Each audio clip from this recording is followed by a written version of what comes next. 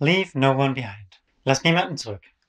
Wahrscheinlich habt ihr dieses Hashtag schon mal irgendwo gesehen, online oder offline in den letzten Wochen und Monaten, die hinter uns liegen und die für viele von uns nicht leicht waren. Lass niemanden zurück. Mein Name ist Thomas Steiner. Ich arbeite für Google in Hamburg und heute möchte ich darüber sprechen, niemanden zurückzulassen und für moderne Browser zu bauen mit progressivem Verbessern, als wäre es 2003. 2003. In diesem Jahr haben Stephen Champion und Nick Fink das Konzept progressiven Verbesserns eingeführt. 2003, das ist, wow, 18 Jahre her. Aber progressives Verbessern ist heute noch wichtig. Einer der Gründe für progressives Verbessern ist es, den Einsatz neuer Technologien und Strategien zu ermöglichen, ohne dabei einen Browser oder ein Gerät zurückzulassen. Lass niemanden zurück. Aber was soll das heißen in der Praxis? Schauen wir uns eine ziemlich coole App an, an die ein paar von euch sich vielleicht aus der Zeit von Fenster 95 erinnern werden. Malen. Jemand hat Malen in JavaScript nachgebaut, sodass man es heute im Browser verwenden kann. Wenn du es ausprobieren willst, scan einfach den QR-Code auf der Folie. Mit dem Sprühdosenwerkzeug kann ich auf die Leinwand malen. Zum Beispiel kann ich schreiben, lasst niemanden zurück. Aber da ich kein begnadeter Graffiti-Künstler bin, ist es vielleicht eine bessere Idee, das Textwerkzeug von Malen zu verwenden. Also schreibe ich, lasst niemanden zurück, nochmal, aber diesmal als Text.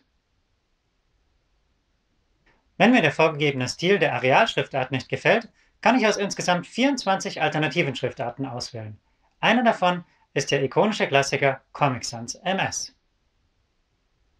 Wenn ich allerdings in der Schriftartenverwaltung auf meinem MacBook nachschaue, sehe ich da 310 Schriftarten, die auf meinem Laptop installiert sind, inklusive Wingdings, was sozusagen Emoji vor Emoji war.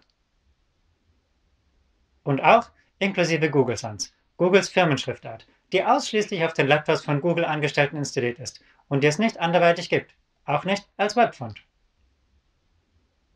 Was der Browser von all diesen lokalen Schriftarten exponiert, ist nur die Gruppe der sogenannten websicheren Schriftarten.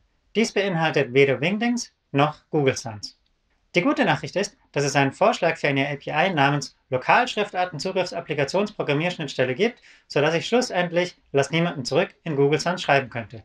Du kannst einen Bildschirmschuss des Entwurfsdokuments auf der Folie sehen.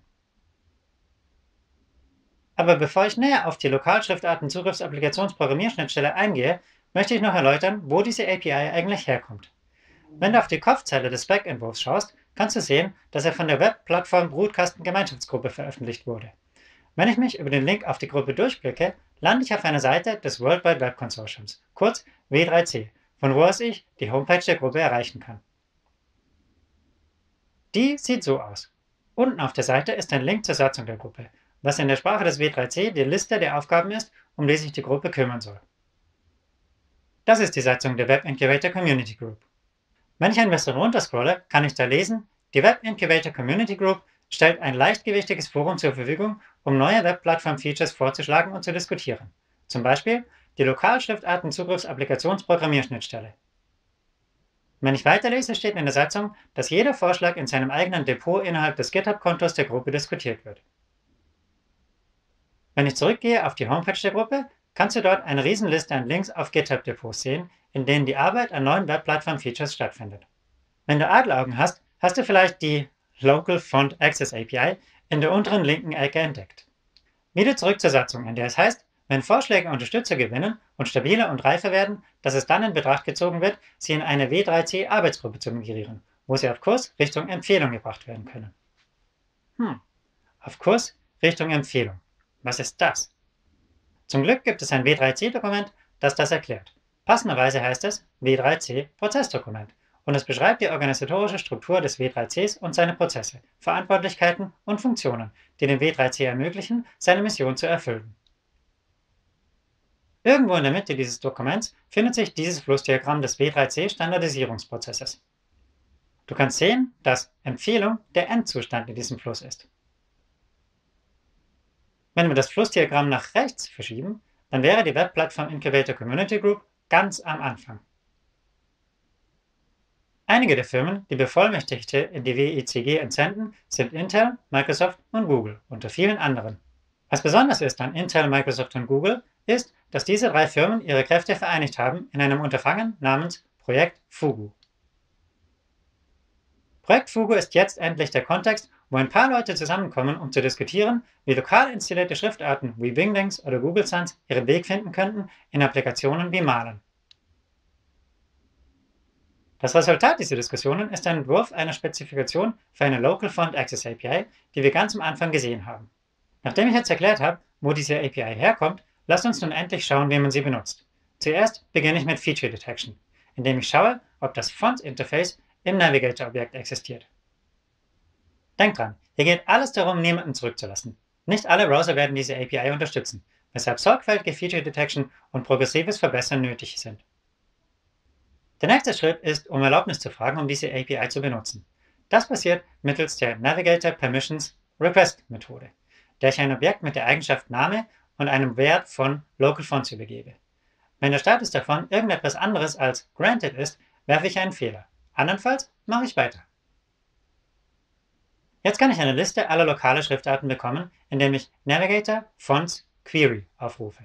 Das gibt mir einen asynchronen Iterator zurück, über den ich mit einer For-Off-Schleife iterieren kann. Jedes Font-Metadata-Element hat einen PostScript-Namen, einen vollen Namen und eine Familie. Für mehr Details kannst du einen Artikel lesen, den ich geschrieben habe. Scan einfach den QR-Code auf der Folie, um den Artikel zu finden. Das ist ein brandneuer Vorschlag für eine API, was bedeutet, dass ich im Moment eine Flag namens Font Access im Browser setzen muss, um die API zu testen. Ich habe eine kleine Demo gebaut, die die API in Aktion zeigt. Du kannst sie erreichen unter local-font-access.glitch.me oder du scannst den QR-Code auf der Folie. Das erste, was ich sehe, wenn ich die App öffne und klicke, ist der Dialog, der mich um Erlaubnis fragt, die API zu nutzen. Der konkrete Text könnte sich noch ändern in der Zukunft, aber derzeit fragt mich der Browser, ob er auf die Schriftarten auf meinem Computer zugreifen darf, sodass ich Typografie mit hoher Wiedergabetreue erzeugen kann. Wenn ich den Dialog akzeptiere, erscheinen die Schriftarten in der Auswahlbox. Ich kann nach Schriftarten wie suchen und jedes Schriftartenelement aufklappen, um Schriftartvariationen zu sehen. Wie ich schon gesagt habe, es ist sehr früh im Leben dieser API. Also sollte irgendetwas komisch aussehen oder sich sonderbar anfühlen, kannst du und solltest du sogar Feedback geben. Im Spec-Entwurfsdokument ist ein Link auf das GitHub-Depot, wo die Spezifizierungsarbeit abläuft. Wenn ich durchklicke, lande ich auf der Issues-Sektion des Depots und kann die existierenden Issues lesen oder kommentieren oder ein neues erstellen, zum Beispiel um eine neue API-Form vorzuschlagen oder Inkonsistenzen in der API aufzuzeigen. Probleme in der Spec einer API sind das eine, aber ein anderes Problem können Implementierungsfehler in Chrome sein. Jede API, an der wir arbeiten, hat einen Eintrag auf Chrome Platform Status. Wenn du nach Local Font Access suchst, kannst du alle Details zu Chromes Implementierung finden. Für jede API gibt es einen Link zu einem Tracking-Bug, in dem die Arbeit an dieser API getrackt wird. Wenn ich mich zum Bug durchklicke, kann ich alle Commits, Kommentare, zugewiesenen Softwareingenieure usw. So sehen. Falls ich ein Implementierungsproblem in Chrome feststelle, wäre dies der Ort, um das zu melden. Die Local Font Access API ist nur eine von vielen, vielen APIs, an denen wir im Kontext von Projekt Fugu arbeiten. Mehr kannst du auf unserem Fugu API Tracker sehen, den du erreichst, indem du den QR-Code scannst. Wenn du den Fugu API Tracker aufmachst, kannst du all die APIs sehen, die wir schon ausgeliefert haben. All die APIs, die derzeit in Origin Trials sind. All die APIs, die derzeit in Dev Trials sind. All die APIs, an denen die Arbeit schon begonnen hat. Und schlussendlich all die APIs, die wir in Erwägung ziehen. Diese Website mag sich vielleicht ein bisschen überwältigend anfühlen. Aber keine Sorge. Das Google Developer Relations Team, dem ich angehöre, hat Artikel zu allen derzeit nutzbaren APIs geschrieben, die leicht verdaulich sind und die alles enthalten, was Entwickler wissen müssen, um loszulegen. Du kannst alle unsere Artikel finden, indem du diesen QR-Code scannst. Und denk dran, was auch immer du baust, lass niemanden zurück. Benutze diese APIs als progressive Verbesserung. Wo immer möglich, versuche eine Basisversion deiner App bereitzustellen für Benutzer, die Browser verwenden, die nicht die neuesten APIs verwenden. Und damit vielen Dank fürs Zuschauen und frohes progressives Verbessern. Mein Name ist Thomas Steiner und ich werde versuchen, alle Fragen, die du hast, in den Kommentaren, per Twitter oder per E-Mail zu beantworten.